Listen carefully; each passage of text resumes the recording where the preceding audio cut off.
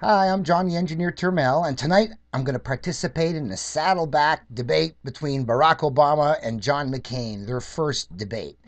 There's a chance there's going to be a North American Union, and if ever there were, I'd be running for president or prime minister of that union. So I may as well take this opportunity to explain what I could do for not only Canada, but the United States and the world as well. So I'm going to be throwing in my answers and one liners to these uh, arguments made by the other candidates, and I hope you appreciate the errors they're making and the ways they could be fixed. As an American, what's worth dying for? What's worth having sacrificing American lives for? Well, uh, obviously, American freedom. So, when was America's freedom ever in jeopardy? It's always been America attacking other nations, never other nations attacking America. Uh, American lives, America's national in, national interests. Uh, you know, I was just uh, with my family on vacation in Hawaii and visited uh, the place where my grandfather uh, is laid to rest, uh, the Punch Bowl National Punch Bowl, Cemetery. yeah. Uh, and then went out to the Arizona, uh, uh, out in Pearl Harbor. And, you know, you're reminded of, of the sacrifice that had been made on behalf of our freedom. Yes, the sacrifice those men made giving their lives when Roosevelt knew the Japanese were going to attack, and he let them be killed so he'd have an excuse to get America into the Second World War. What a sacrifice they made. And I think that is a solemn obligation that we all have. Uh, I think we also have uh, forged alliances uh, with countries, uh, NATO being a prime example, uh, where uh, we have pledged to act militarily uh, for the common defense. Uh, That is in our national interest, and that is something I think that we have to abide by. Military alliances? That's the worst excuse for going to war and sacrificing your kids. American, what is worth dying for and what's worth committing American lives for? freedom, um, our national security, our security as a nation. Wars have started in obscure places that have enveloped us. Wars have started in obscure places that have enveloped the United States? Not true. If you go back and look at history, the United States foments strife all over the planet. You got the most disgusting record of warmongering in the history of the planet. So we've been watching. You can't hide it from the victims and the people who know what you did. You guys run the death squads throughout all of Latin America.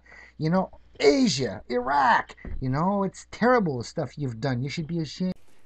We also must temper that with the ability to effectively and beneficially cause the outcome that we want.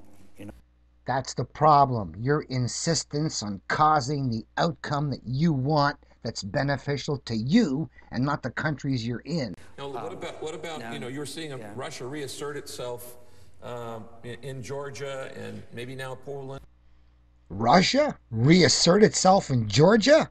That's a distortion of what happened. I think the preacher has his facts wrong. What, what's happening?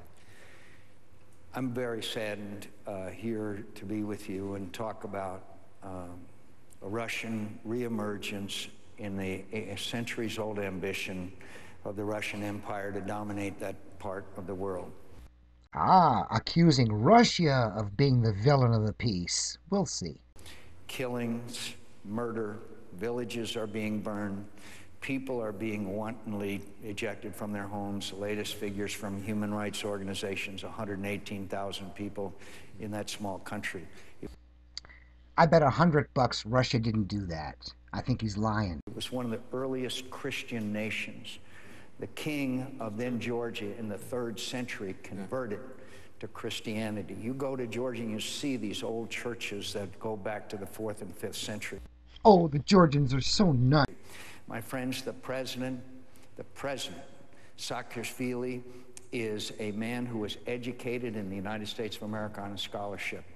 Ah, so that's why he so easily massacred hundreds and maybe thousands in South Ossetia. He was trained by the United States Death Squad. He went back to Georgia and with other young people who had also received an education, invaded South Ossetia and killed thousands of people. They achieved a revolution. They had democracy, prosperity, and a great little nation. So why did he have to invade South Ossetia and kill all those Russian peacekeepers? And now the Russians are coming in there in an act of aggression. The Russians went in there to stop the slaughter.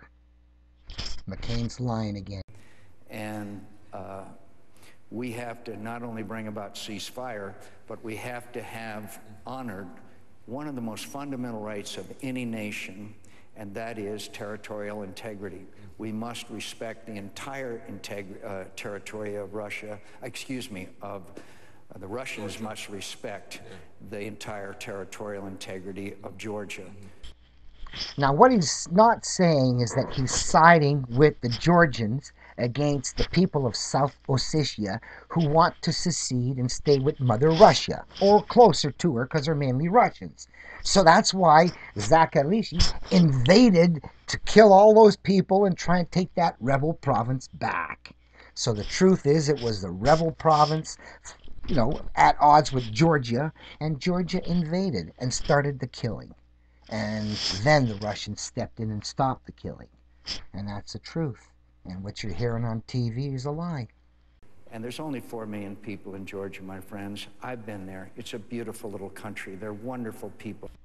Oh, they're so wonderful. They should be allowed to invade and take back that rebel province, especially when the whole world is preoccupied with the Olympics. They're suffering, suffering terribly now. And there's two other aspects of this very quickly. One of them, don't think it was an accident the presence of Lithuania, the presidents Lithuania, Latvia, Estonia, Poland, and Ukraine flew to Tbilisi to show their solidarity. To show their solidarity with the guy who started the killing. With the president of Georgia. Uh, because they all have something in common with Georgia. They lived under Russian domination for a long period of time. Second of all, of course, it's about energy. There's an oil pipeline that goes across Georgia that up till now had not been controlled by the Russians. And my friend, energy the Russians are using as a tremendous lever against the Europeans. So keep them in your prayers. Let's get the humanitarian aid as quickly as possible to them and send the message to the Russians that this behavior is not acceptable in the 21st century.